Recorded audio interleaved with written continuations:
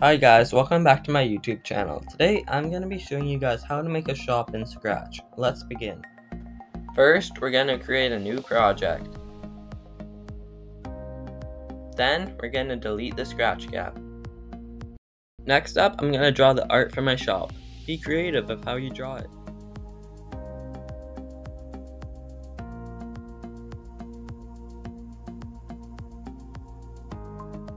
So now that we're done our art, we need to name our sprite. So let's name it shop.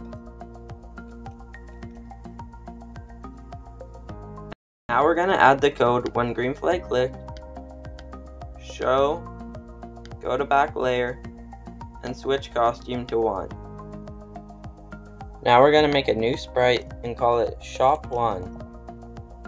And we're gonna draw our first shop upgrade.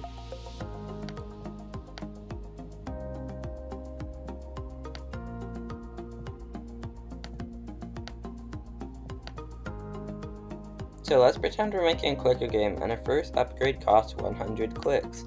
So then we're going to write 100 clicks. Let's pretend it gives you 10 clicks per second. So you want to make sure you write this stuff on your shop upgrade so people know if they want to buy it or not. Now we just position it a little bit up and we can start coding it. So first I'm going to need to make a variable called clicks for testing. Now we're going to start coding some of the basics of the sprite. So code when green flag click, show, go to front layer, switch costume to 1, and then we're going to say go to 3628. So if we test this out, it does that. Now we're going to code some things for the shop. So we're going to get a when the sprite click block, forever, if, then we're going to get an and block, another AND block, and a greater than block. Then we're going to get a clicks variable and type in greater than 99. Then we're going to code and mouse down and touching mouse pointer. Then we're going to change clicks by minus 100 and we're going to forever wait one second change clicks by 10. Now if we test this out and set our clicks to 100 and you buy the upgrade, we get 10 clicks every second. This is exactly what we want.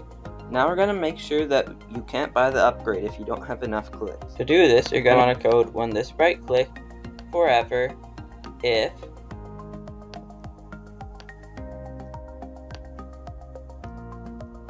clicks are greater than 100 and not touching mouse pointer,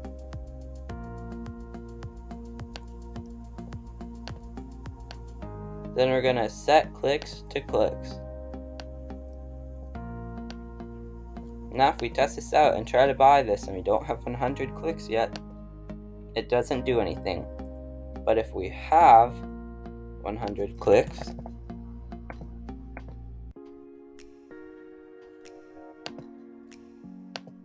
let me buy it, we get our reward. Now that we're done making our first shop upgrade, we can duplicate this, duplicate the sprite and reposition it.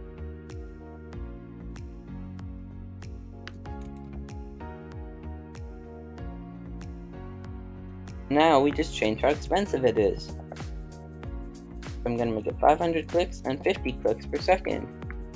And right here, you just change this to 499 and change clicks by minus 500 and change clicks by 50. Then right here, you just change it to 500. Now I can duplicate this one more time and reposition the sprite again.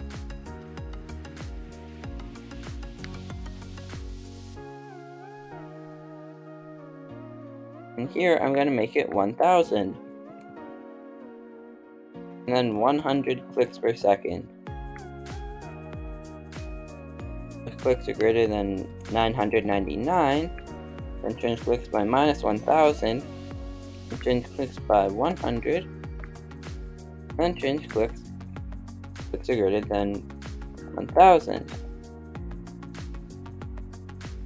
Now, if I test this out, so I'm going to set my clicks to 500 right here.